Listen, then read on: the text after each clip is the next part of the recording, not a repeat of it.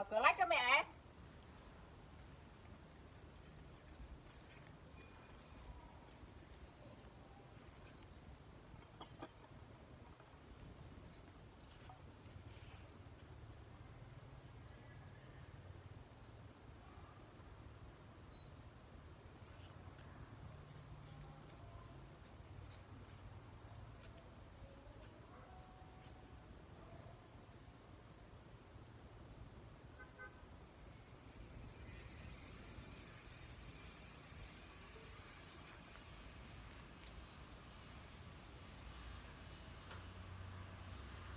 Cửa bếp mà.